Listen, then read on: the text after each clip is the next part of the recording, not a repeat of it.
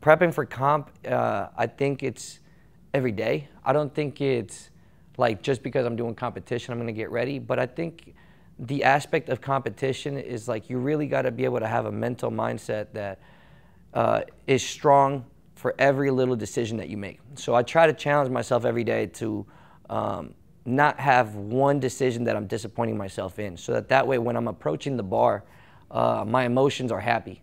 And you know, approaching competition, you should be relaxed, confident, and understanding what you're going to do. So what I usually like to do is I like to put myself in uncomfortable situations like a three-day fast.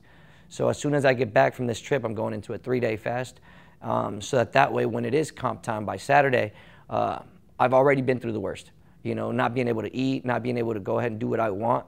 Um, kind of putting a sacrifice for what you want is really what I do. And literally just visualize, meditate. And the comp really just is a chance for me to show everybody how comfortable I am and controlled I am under the stressful situations of the bar. You know, because really, if you're having a good time in life and if you know that you've got your own back, competition is just a, a chance to share with everybody kind of how you feel about life. And a lot of people forget that. You know, I think a lot of people are like, I'm going to beat this guy up. I'm like, it's not about that. It's like, are you comfortable with what you're doing in your own life so that when you go out there and, and given a platform, you can show people joy in your movements, show people control in your movements, you know, fearlessness. And I think a lot of people forget about that. And so that's my main focus when I compete. Just relax. so my diet is, uh, I'm actually pretty rigid when it comes to everyday nutrition, but competition is more about, okay, there's no candies.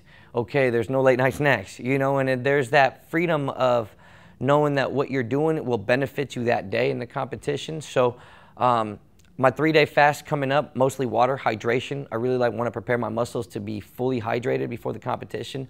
Uh, the next few days after that will be no, mostly nutrient focused, so that that way there's a tremendous amount of glucose in my muscles, so I can go ahead and be ready to compete. The last few days, I'll take away a little bit more of, you know, the calories, so that that way I can be a little bit lighter.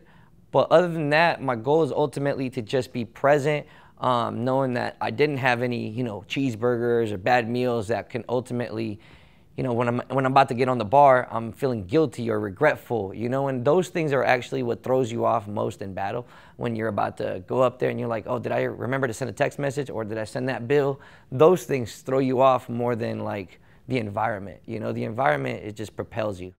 Everybody has created their own style of movement, just like when you walk you have like maybe a little swag this way or that way, but the flows are really just where do you feel strong? And I think, um, you know, the way I choose my flows is what do people not typically do?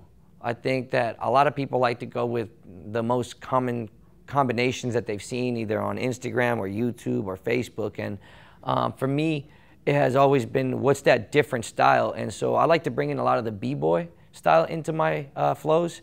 Um, a lot of people like to be fearless and dynamic where they do a lot of flips and tricks. I do more of control on the bar, kind of moving my feet on the bar, incorporating full body movements.